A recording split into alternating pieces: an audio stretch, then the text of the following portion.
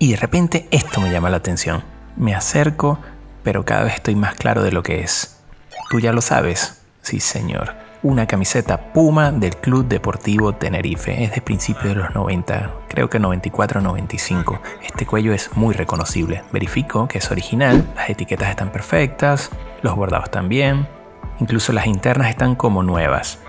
Me pide 5 euros que me parecen más que justo para una camiseta en versión manga larga y en muy buenas condiciones. Es una versión de fanático. Las versiones de jugador solían tener los sponsors y dorsales en la parte trasera.